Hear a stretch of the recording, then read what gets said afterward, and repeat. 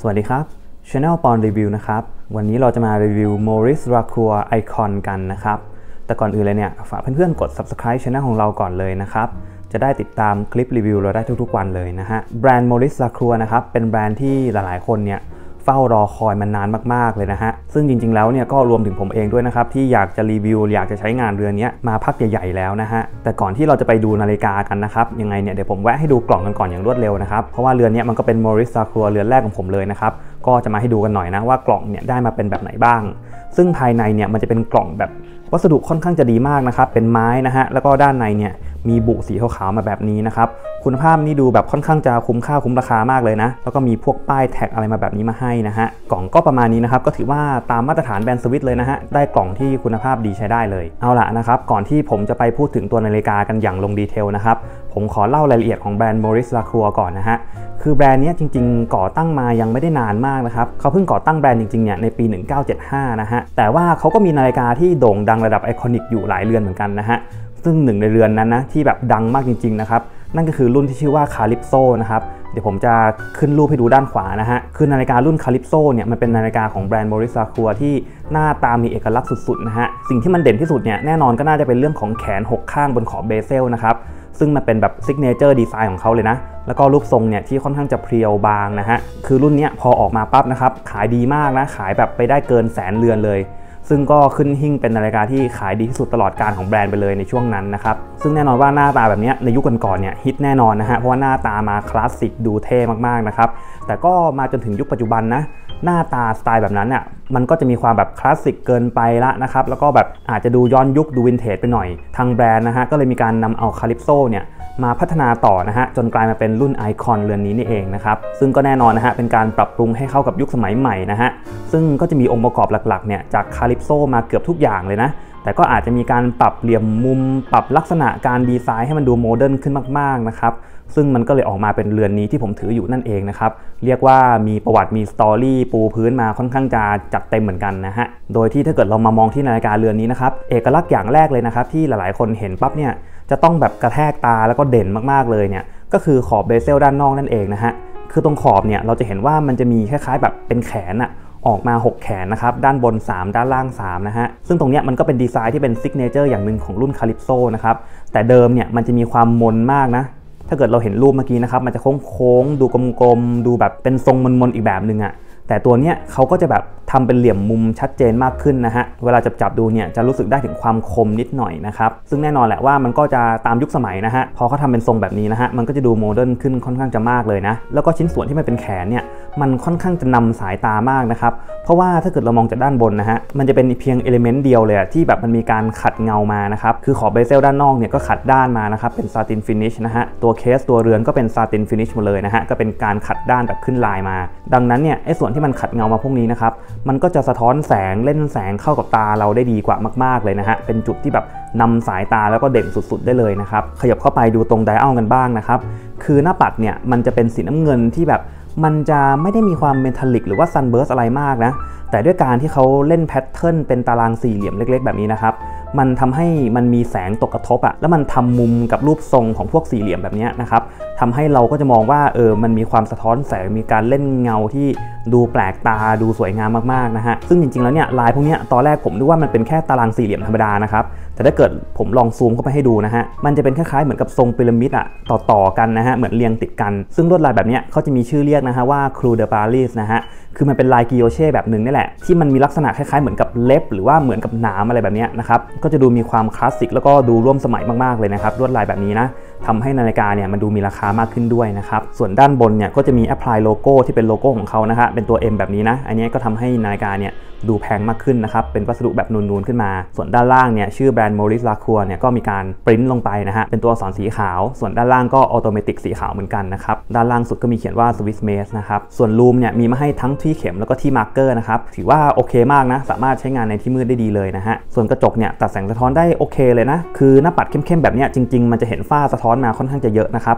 แต่อันเนี้ยผมถือว่าเห็นหน้าปัดด้านในได้ค่อนข้างจะ clear เลยนะ ถึงแม้ว่าตอนที่ถ่ายทำอยู่เนี่ยแสงด้านนอกมันจะแบบแรงมากๆนะครับ มันก็ยังแบบไม่ได้ติดฝ้าอะไรมาเยอะแยะมากมายเท่าไหร่นะฮะ ถือว่าทำได้ดีเลย ส่วนตัวเครื่องเรือนนี้นะครับจะเป็นรหัส ML115 นะฮะ ซึ่งพื้นฐานของเครื่องเนี่ยมันจะมาจากเครื่อง Sellita นะครับของทางสวิสนะ แต่ว่าก็จะมีการนำเอาไปแบบ custom ตัวโรเตอร์นะครับให้มันเป็นโรเตอร์ของ Maurice Lacroix โดยตรงนะฮะมันก็จะดูมี detail อะไรมากขึ้นนะครับแล้วก็ดีไซน์ของเครื่องเนี่ยด้านในมันก็จะมีการขัดเงาเป็นริ้วๆมาให้แบบนี้นะ ซึ่งก็ถือว่าสวยดีนะครับตามมาตรฐานเครื่องสวิสเลยนะทำออกมาประมาณนี้ส่วนสเปคอื่นๆของเครื่องนะครับสำรองพลังงานได้ 38 ชั่วโมง แล้วก็ใช้ความถี่ 28,800 bph นะฮะซึ่งก็จะทำให้เข็มด้านหน้าเนี่ย เข็มวิมันจะกวาดเนียนกว่านะครับเนียนกว่าพวกเครื่อง 21,000 b ทั่วไปนะฮะส่วนสเปคการกันน้ำเนี่ยเรือนนี้ทำได้ 200 เมตรนะครับซึ่งก็ถือว่าค่อนข้างจะเยอะมากเลยนะครับในนาฬิกาทรงกึ่งสปอร์ตกึ่งเดรสแบบนี้นะครับส่วนเม็ดมะยมเนี่ยเป็นสกูดาวคราวนะครับเราต้องหมุนคลายออกมาก่อนนะฮะ แล้วหลังจากนั้นเนี่ยพอหมุนจนสุดปั๊บสามารถหมุนย้อนเพื่อขึ้นลานด้วยมือได้เลยนะครับ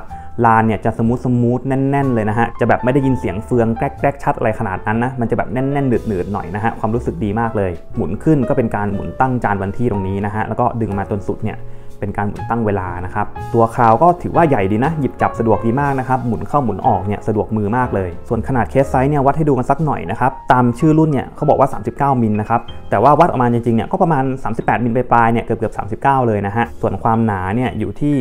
10.7 มิลเท่านั้นนะครับ ถือว่าบางใช้ได้เลยนะ แล้วก็ลักทูลักเนี่ยเป็นอย่างหนึ่งที่พิเศษมากนะฮะสำหรับเรือนนี้นะ ถ้าเกิดผมวัดจากแค่เคสนะครับลักทูลักจะอยู่ที่ 45 มิล แต่ถ้าเกิดผมวัดจากส่วนที่แบบเอลิงมันยื่นมามากที่สุดนะฮะ มันก็ยังอยู่ที่ประมาณ 50 มิลนะซึ่งเอาจริงๆ ถือว่าเล็กมากๆนะฮะ เป็นลักทูลักที่แบบ สามารถใส่ใช้งานได้แน่นอนนะสำหรับคนข้อมือเล็กนะครับ ส่วนฟินิชชิ่งต่างๆของเคสนะครับ จะเห็นว่า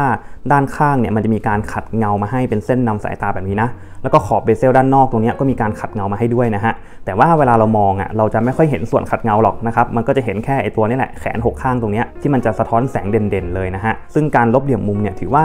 มาแบบมนๆนิดนึงนะฮะยังไม่ได้คมบาดมือแบบรูปแล้วรู้สึกได้ถึงสันเหลี่ยมอะไรขนาดนั้นนะซึ่งอันเนี้ยก็แล้วแต่ความชอบนะครับส่วนต่อไปเนี่ยเป็นส่วนของสายนะฮะสายเนี่ยผมแบบอยากจะพูดถึงเยอะมากเลยนะครับ เพราะว่าเรือนเนี้ย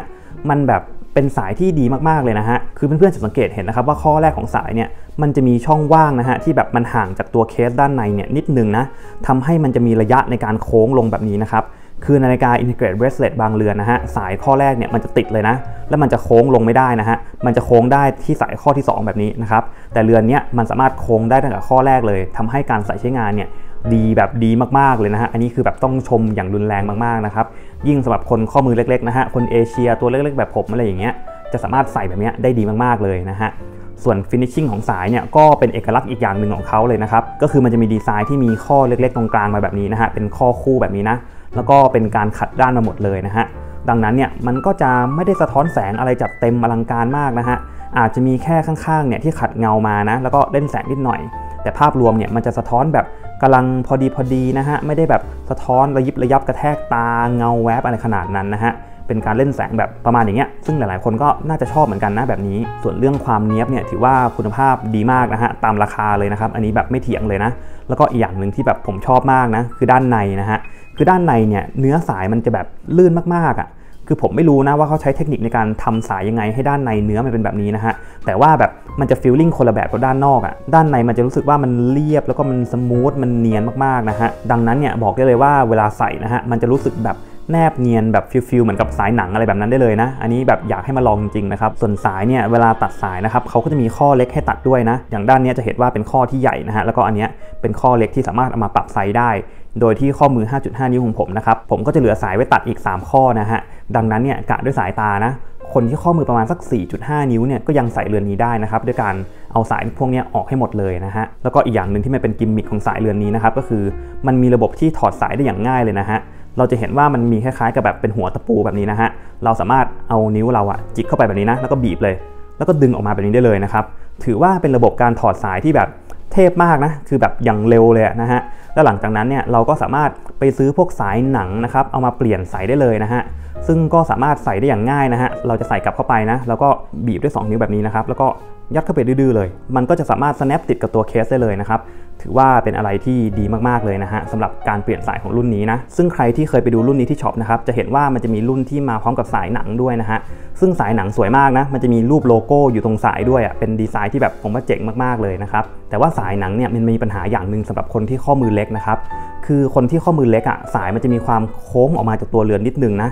ทำให้แบบมันจะมีความกลางมากกว่าปกติอะซึ่งถือว่าแปลกประหลาดมากนะเพราะปกติแล้วเนี่ยนาฬิกาที่มันเป็น integrated bracelet เนี่ยสายหนังมันจะใส่ได้สบายกว่าสายเหล็กนะครับแต่สำหรับเรือนนี้นะฮะสำหรับ Maurice Lacroix Icon เนี่ยสายเหล็กใส่ได้สบายกว่าสายหนังเยอะมากเลยนะครับอันนี้ก็แนะนำให้ไปลองของจริงดูนะฮะ แต่ถ้าเกิดแบบข้อมือใหญ่ๆนะฮะประมาณสัก 6 นิ้ว 7 นิ้วอะไรอย่างเงี้ยผมว่าใส่สายหนังได้สบายมากเลยนะ แต่ถ้าเกิดคนข้อมือเล็กนะครับแนะนำเลยว่าสายเหล็กดีกว่าเยอะเลยอะเดี๋ยวผมจะลองขึ้นข้อมือ 5.5 นิ้วหรือว่า 14 เซนให้ดูนะครับอย่างที่บอกไปตอนแรกเลยนะครับฟีลลิ่งแรกเนี่ยคือความสบายของตัวสายนะฮะสายมันแบบใส่สบายมากจริงๆนะข้อสายแต่ละข้อเนี่ยมันเล็กนะครับแล้วมันก็แบบ โค้งเข้ากับข้อมือได้ดีมากอะ่ะ จะเห็นว่ามันโค้งรับข้อมือแบบแนบเนียนสนิทไปกับตัวผิวหนังเราได้ดีมากๆนะฮะทำให้เวลาใส่มันรู้สึกโอเคมากๆจริงๆนะครับ แล้วก็เวลาเราหมุนขึ้นหมุนลงนะฮะ เราก็จะเห็นการเล่นแสงเนี่ยหลักๆไปอยู่บนขอบเบเซลแบบนี้นะฮะ โดยที่ตัวสายเนี่ยก็อย่างที่บอกไปว่ามันจะสะท้อนแบบพอประมาณนะฮะกำลังผู้ดีผู้ดีเลย แล้วก็จะเป็นเงามากๆ เล่นแสงสะท้อนจัดมากๆเนี่ยก็ตรงขอบเบเซลแบบนี้แทน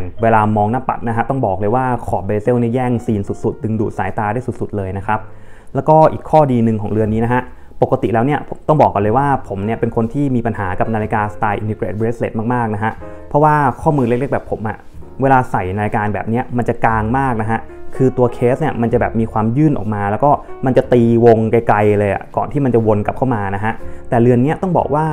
เป็น integrated bracelet size 39 มิลที่น่าจะใส่ได้ดีที่สุดละเท่าที่ผมเคยใส่มาเลยนะ เพราะว่าดีไซน์ของ lug ของเขานะฮะจะเห็นว่า lug เขาแบบ ตัดค่อนข้างจะเร็วอะคือแบบไม่พยายามจะยื่นอะไรออกมาเยอะอะแล้วก็ให้สายเนี่ยมันทำหน้าที่ตีโค้งลงมานะฮะแล้วก็มารัดกับข้อมือเราอะทำให้เรือนนี้มันเหมือนเป็นเรือนที่เข้าใจความรู้สึกความต้องการของคนข้อมือเล็กจริงๆนะครับซึ่งแน่นอนนะว่าคนข้อมือใหญ่เนี่ยก็จะใส่ได้แบบไม่ต่างกับคนข้อมือเล็กเลยนะฮะแต่สำหรับคนข้อมือเล็กเป็นพิเศษอะต้องบอกว่าเป็นเนื้อคู่สุดๆเลยนะครับสำหรับเรือนนี้นะใครที่ข้อมือเล็กแล้วก็มีปัญหาเหมือนกับผมนะฮะบอกได้เลยว่าเรือนนี้ ทำให้ความรู้สึกเราเปลี่ยนไปสุดๆเลยนะฮะ โดยภาพรวมแล้วนะครับ ก็ต้องถือว่าเป็นนาฬิกาที่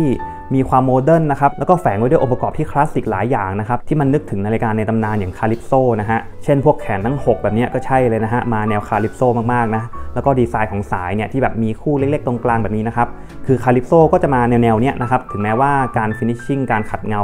รูปทรงมันจะต่างกันไปประมาณนึงอะ แต่ด้วยคอนเซ็ปต์หลาย ๆ อย่างเนี่ยมันก็ยังคงความเป็น Calypso ได้ดีค่อนข้างจะมากนะฮะ ดังนั้นเนี่ยใครที่แบบชื่นชอบนาฬิการุ่นนั้นอยู่แล้วนะ ต้องบอกเลยว่าตัวนี้เป็นตัวที่แบบมาสืบทายาทได้แบบลงตัว perfect มาก ๆ นะฮะ หรือแม้แต่ใครที่แบบอาจจะไม่เคยได้ยินนาฬิการุ่น Calypso มาก่อนนะ แต่อยากได้นาฬิกาที่แบบมันมีความสปอร์ตอะแต่ว่ามันก็ผสมผสานความคลาสสิกความ contemporary เอาไว้ด้วยนะฮะ เรือนนี้ก็ถือว่าเป็นส่วนผสมที่แบบตรงกลางเลยอะถือว่าทำได้ดีนะฮะ แต่ก็ต้องบอกก่อนนะฮะว่าใครที่อยากได้นาฬิกาแนวโมเดิร์นจัดๆเลยอะคือแบบสมัยใหม่มากๆนะฮะ ดูอนาคตไปเลยเนี่ย เรือนนี้ก็อาจจะยังไม่ใช่แนวนั้นนะ คือมันจะมี element หลาย ๆ อย่างที่ดูแล้วแบบมันยังไม่ได้ไปทางนั้นซะทีเดียวนะครับ อย่างพวกสายพวกขอบอะไรแบบนี้มันจะมาแนวร่วมสมัยมาแนว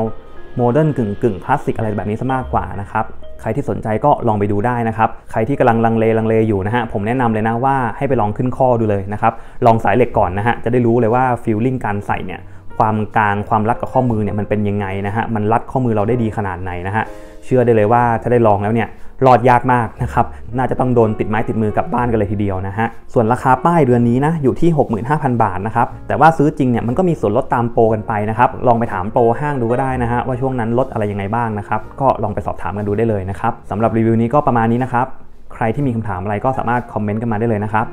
แล้วพบกันใหม่คลิปหน้าครับ สวัสดีครับ